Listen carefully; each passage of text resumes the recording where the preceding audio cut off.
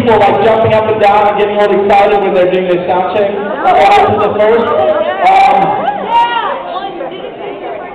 yeah, that's true. So, um, I want to open us up in prayer, and then just give you some housekeeping, in case you're wondering, in the hallway, passageway on my left, your right, the, the men's room is right back here, and the ladies' room way back there uh, as you go. And then we have refreshments out front.